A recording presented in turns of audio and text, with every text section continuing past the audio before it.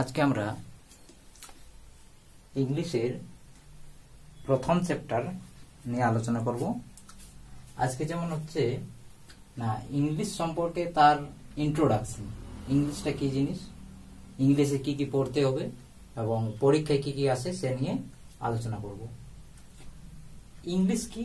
না, ইংলিশ হচ্ছে একটা ল্যাঙ্গুয়েজ একটা ভাষা। এটা একটা ইন্টারন্যাশনাল ল্যাঙ্গুয়েজ তাহলে অন্যান্য ভাষার মতন ইংলিশও হচ্ছে একটা ল্যাঙ্গুয়েজ আমাদের যতগুলো ভাষা আছে, বাংলা হোক, হিন্দি হোক, ইংলিশ হোক, প্রত্যেকটা ভাষার দুটো পিলার আছে, দুটা স্তম্ভ আছে বা দুটা স্ট্রিম আছে। যেমন একদিকে আছে গ্রামার ভোকেবুলারি এবং রাইটিং স্কিল এবং অন্য একটা দিক হলো লিটারেচার লিটারেচার মানে হচ্ছে সাহিত্য।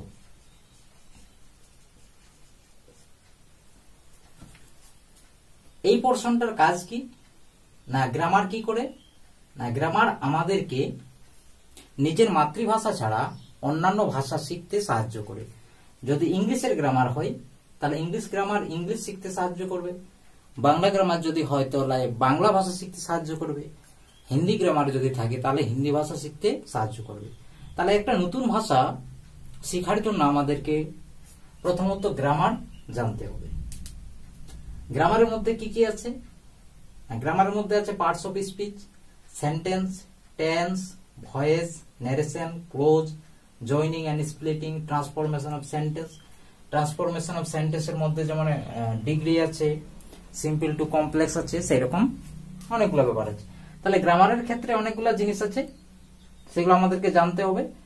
এবং সেটা জানার পরেই আমরা কিন্তু সেই ভাষাটা শিখতে পারব প্রপারলি এখান থেকে পরীক্ষায় কি কি আছে? না, এখানে পরীক্ষায় হতো নাউনের ব্যবহার বা অ্যাডজেক্টিভের ব্যবহার দিল। কথায় কীরকম ব্যবহৃত হয়? যদি বলা হলো যেমন একটা কোয়েশ্চেন থাকে ইউজ সুইটেবল ওয়ার্ড এই সুইটেবল ওয়ার্ড ব্যবহার করতে বলা হয়। সেখানে হয়তো অ্যাডজেক্টিভ বসবে, না হয় নাউন বসবে, না হয় অ্যাডভার্ব বসবে। তাহলে তাদের ব্যবহারগুলো যদি আমরা না জানি এখানে, তাহলে সেখানে আমরা বসাতে পারব না। তাহলে প্রপারলি আমাদেরকে এই পার্টগুলো কিন্তু জানতে হবে। ভয়েস থাকে ন্যারেশন থাকে। গত দু এক বছরে আমরা দেখেছি, না ডাব্লিউবি যে মেন পরীক্ষা, সেখানে কিন্তু ভয়েস ন্যারেশন আবার প্রভার্ভ মানে প্রবাদ, এইসব জিনিসগুলো থাকে। ন্যারেশনও থাকে ক্লোজ থাকে। তাহলে এগুলো আমাদেরকে কিন্তু প্রপারলি জানতে হবে, এর কনসেপ্টটা ক্লিয়ার করতে হবে। দু নম্বর আছে ভকেবুলারি মানে হচ্ছে শব্দ তালিকা। এখানে বিভিন্ন রকম নতুন নতুন শব্দ আমরা জানতে পারব। এটার গুরুত্ব কি? না, শব্দ তালিকার গুরুত্ব হচ্ছে, না, আমরা এইখানে নতুন ধরনের শব্দ সম্পর্কে একটা ধারণা পাবো, যেমন আছে অ্যাপ্রোপ্রিয়েট প্রিপোজিশন অ্যাপ্রোপ্রিয়েট প্রিপোজিশনটা আমাদেরকে মুখস্থ রাখতে হবে। কারণ পরীক্ষায় অ্যাপ্রোপ্রিয়েট প্রিপোজিশন কিন্তু আসেই সে ডাব্লিউবিসিএস হোক সিজিএল হোক এসএসসি হোক, সমস্ত ধরনের পরীক্ষায় আসে আবার একাডেমিক যে পরীক্ষাগুলো আছে নাইন টেন ইলেভেন টুয়েলভ সেখানেও কিন্তু প্রিপোজিশনের ব্যবহার আছে। যেমন অ্যাকর্ডিং টু মানে অ্যাকর্ডিং এর পরে টুই বসবে, এই যে একটা নিয়ম সেটাকে বলা হচ্ছে অ্যাপ্রোপ্রিয়েট প্রিপোজিশন এটা কিন্তু প্রত্যেকদিন দু একটা করে মুখস্থ করতে হবে। তারপরে আছে ফ্রেজাল ভার্ব বা গ্রুপ ভার্ব ফ্রেজাল ভার্ব বা গ্রুপ ভার্বও আমাদেরকে মুখস্থ রাখতে হবে। ইডিয়মস ইডিয়মস মুখস্থ করতে যেমন ইডিয়মস মানে হচ্ছে বাগধারা। বাংলাতে আমরা পড়েছি বাগধারা। আক্ষরিক দিক থেকে যা বলতে চাইছে, তার মিনিংটা কিন্তু সম্পূর্ণ আলাদা হয়। যেমন ডুমুরের ফুল মানে অদৃশ্য বা অলিক কোনো বস্তু সেই রকম ইংরেজিতেও আছে ইডিয়মস এগুলো কিন্তু পরীক্ষায় আসে। Synonyms antonyms and homonyms synonyms মানে হচ্ছে সমার্থক শব্দ মানে একটা ওয়ার্ডেরই সিমিলার মিনিং একই মিনিং অ্যান্টোনিমস মানে হচ্ছে বিপরীত শব্দ। আর হমোনিম মানে হচ্ছে সমচ্চারিত শব্দ মানে উচ্চারণটা একই রকম হবে। এগুলা কিন্তু পরীক্ষায় আসেই ভেরি ভেরি ইম্পর্টেন্ট এবং অনেকগুলা সিনোনিম অ্যান্টোনিমস আছে, আমাদেরকে কি করতে হবে? না, কিছু মুখস্থ রাখতে হবে। One word substitution one word substitution মানে হচ্ছে এক কথাই প্রকাশ।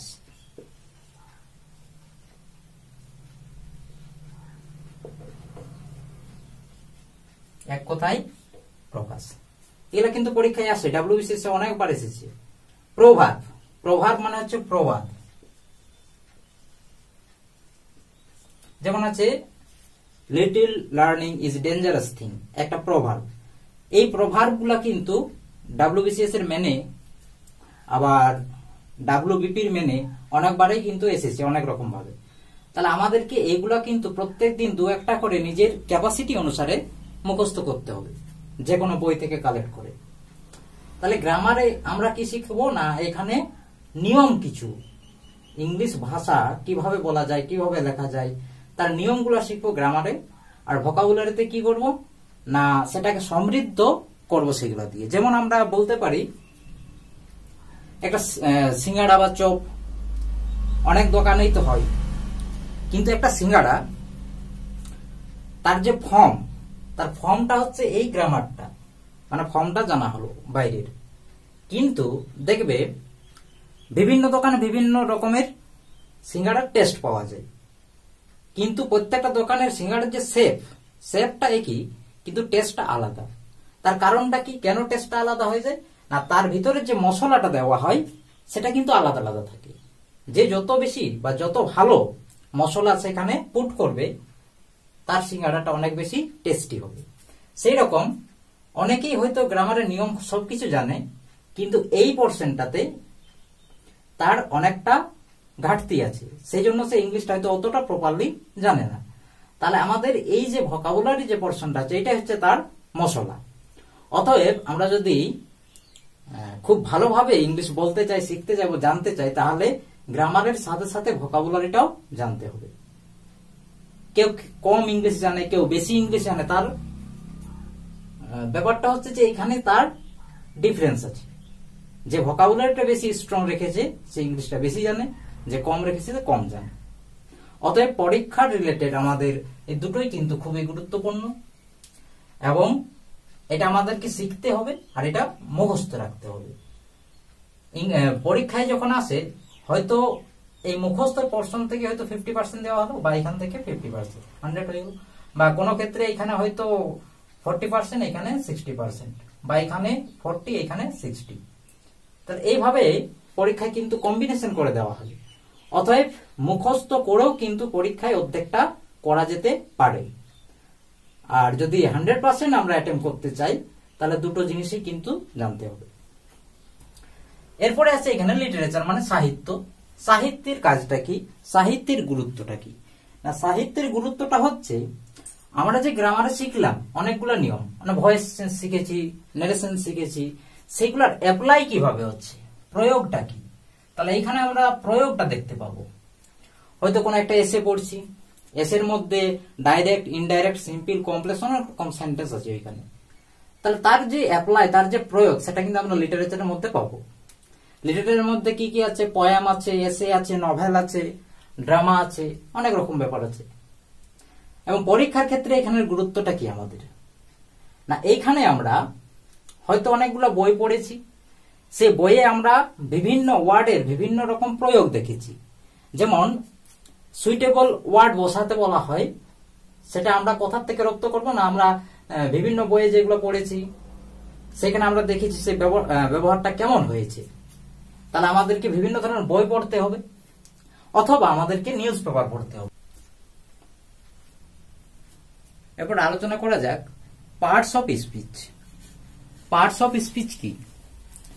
না পার্টস মানে হচ্ছে অংশ, আর স্পিচ মানে হচ্ছে বাক্য, আর অফ অফ মানে হচ্ছে এর কার এর না স্পিচ এর অফের পরে যে ওয়ার্ডটা থাকে তার এর হয়, যেহেতু অফ একটা প্রিপোজিশন যেমন ফ্রম একটা প্রিপোজিশন ফ্রম মানে কি থেকে, কোথার থেকে না ফ্রমের পরে যা থাকে তার থেকে ফ্রম স্কুল স্কুল থেকে সেই রকম অফ স্পিচ মানে স্পিচের মানে বাক্যের স্পিচ মানে হচ্ছে বাক্য, তাহলে বাক্যের অংশ তাকে বলা হচ্ছে পার্টস অফ স্পিচ এই পার্টটাকে আরও বলা হয় কি? এলিমেন্ট এলিমেন্ট মানে হচ্ছে উপাদান। আর স্পিচকে বলা হয় সেন্টেন্স তাহলে সেন্টেন্সের এলিমেন্ট অর্থাৎ বাক্যের উপাদান। তাহলে বাক্যের উপাদান বা যে কোনো জিনিসের উপাদান বলতে আমরা কি বুঝি? মনে করো, আমরা পায়েস বানাবো। তা পায়েস বানানোর জন্য আমাদের উপাদান কি কি প্রয়োজন হবে? না, প্রথমত পায়েসের চাল। দুধ, চিনি, কাজু, কিশমিশ, নারিকেল মানে বিভিন্ন উপাদানের প্রয়োজন হবে পায়েস বানানোর জন্য। তাহলে পায়েসের উপাদান কি কি? না, যা যা দিয়ে পায়েসটা তৈরি করা হলো, সেটাই তার উপাদান। একটা যদি ঘর বানাই, তা ঘর বানানোর জন্য আমাদের প্রয়োজন আছে কি? ইট আছে, বালি আছে, পাথর আছে, রোড আছে, সিমেন্ট আছে। তাহলে একটা বাড়ির উপাদান কি কি হতে পারে? না না যা যা দিয়ে বাড়িটা তৈরি করা হলো, সেগুলোকেই তার উপাদান বলা হবে। তাহলে এখানে পার্টস অফ স্পিচ স্পিচের উপাদান, কোনগুলোকে বলব আমরা? না, একটা সেন্টেন্স যা দিয়ে তৈরি হয়েছে, তাকে আমরা তার উপাদান বলব, বা তার অংশ বলব। যেমন আমরা মোটর বাইকে দেখেছি অনেকগুলো পার্টস থাকে। তাহলে পার্টস মানে কি? না ক্ষুদ্র ক্ষুদ্র অংশ নিয়ে কোন একটা বড় জিনিস তৈরি করা হলো, তখন সেই বড় জিনিসটার ক্ষেত্রে ওই ছোট জিনিসগুলো হবে তার উপাদান, তাহলে পার্টস তাহলে একটা সেন্টেন্স গঠন করার ক্ষেত্রে আমাদের কি কি উপাদান দরকার, কি কি প্রয়োজন? না, আমাদের মোট এই আটটা ওয়ার্ড আছে, এই আটটা জিনিস আছে, এই আটটা জিনিসকেই বলা হচ্ছে পার্টস অফ স্পিচ মানে এই মোট আটটা জিনিস নিয়েই কিন্তু সেন্টেন্স গঠন করা যায়। তাহলে আমরা যদি গঠন করতে চাই, তাহলে আমাদেরকে এই আটটা জিনিস প্রথমে জানতে হবে। তাহলে একটা সেন্টেন্স গঠন করতে আমাদের আটটা পার্টের দরকার হচ্ছে। ইংলিশে সাধারণত এই আটটা পার্ট ছাড়া আর কিছু নেই। যত বড়ই বই থাকুক না কেন, ওইখানে কিন্তু এই আটটা পার্টসেই আছে। তার বাড়তি কিছু নেই। তাহলে আমাদেরকে প্রথমত একটা সেন্টেন্স গঠন করতে হবে। ওই রকম একের পর একের পর এক যদি অনেকগুলো সেন্টেন্স গঠন করে তখন একটা প্যারা হবে। অনেকগুলো প্যারা হলে একটা চ্যাপ্টার হবে। একটা চ্যাপ্টার হলে একটা অনেকগুলো চ্যাপ্টার নিয়ে একটা বই হবে। তাহলে মূল যে একক কাজটা হচ্ছে ইউনিট হচ্ছে, সেটা হচ্ছে একটা সেন্টেন্স গঠন করা। আর একটা সেন্টেন্স গঠন করার জন্য আমাদের এই আটটা পার্টস জানতে হবে। তার মধ্যে সবচেয়ে গুরুত্বপূর্ণ এবং এসেন্সিয়াল যে পার্টটা সেটা হচ্ছে ভার্ব কারণ ভার্ব ছাড়া কোনো মতেই সেন্টেন্স কিন্তু গঠন করা যায় না। তাহলে একটা সেন্টেন্স গঠন করার জন্য আমাদেরকে কিন্তু ভার্ব অতি আবশ্যিক দরকার। অন্য কিছু যদি নাও থাকে, তবুও কিন্তু সেন্টেন্স গঠন করা যায়। শুধুমাত্র একটা ভার্ব দিও যেমন গো গো মানে যাও। এটাও কিন্তু একটা সেন্টেন্স কি সেন্টেন্স এটা একটা ইম্পারেটিভ সেন্টেন্স তার ভার্ব মানে কি হচ্ছে? না ক্রিয়া, যা কোনো কিছু কাজ করা বোঝায়। খাওয়া, দাওয়া, পড়া, লেখা, তাহলে এগুলাকে বলব আমরা ভার্ব। দুই নম্বর হচ্ছে নাউন। নাউন কি? না, নাউন কোনো ব্যক্তি, বস্তু বা কোনো নাম বোঝায়, কোনো অবস্থা বোঝায় মনের। তাকে আমরা নাউন বলি। নাউনকে বাংলায় বলা হয় বিশেষ্য। প্রনাউন আছে। নাউনের পরিবর্তে যে ওয়ার্ড বসে তাকে প্রনাউন বলে হ্যাঁ? আই উই এইগুলো যেমন পার্সোনাল প্রোনাউন আছে, অনেক রকম প্রোনাউন আছে, আমরা পরে আলোচনা করব। অ্যাডজেক্টিভ আছে। অ্যাডজেক্টিভকে বাংলায় বলা হয় বিশেষণ প্রোনাউনকে সর্বনাম বলা হয়। অ্যাডজেক্টিভ অ্যাডজেক্টিভ কি? না নাউন বা প্রোনাউনকে যে ওয়ার্ড বিশেষিত করে, তাকে অ্যাডজেক্টিভ বলা হয়। অ্যাডভার্ব কি? না ভার্বকে বিশেষিত করে। অর্থাৎ ভার্বের যে টাইম প্লেস অ্যাকশন আছে সেটা নির্ণয় করে। প্রিপোজিশন কি? না নাউন বা অবজেক্টের পূর্বে ব্যবহৃত হয়ে বা বসে ভার্বের সাথে অবজেক্টের একটা সম্পর্ক সাধন করে। কনজাংশন কি? না, দুটো সেন্টেন্সকে যুক্ত করে। ইন্টারজেকশন কি?